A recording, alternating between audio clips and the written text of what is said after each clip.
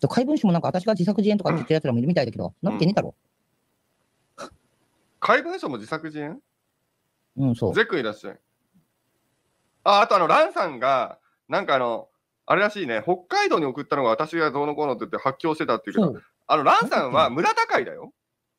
そうです。そっちです。村高いの方なんですよ、あなた。わ覚えてるよね。そうです。で、あの、なんかあの、なんだっけあれ、あの、秘密ちゃんにもディスられてたらしいじゃない。みたいだね、昨日。うん私知らんかったけど。村高いの怪文書が万年なんだって言ってるんだ、俺は。しっかりしてくんないかな。うん。うん。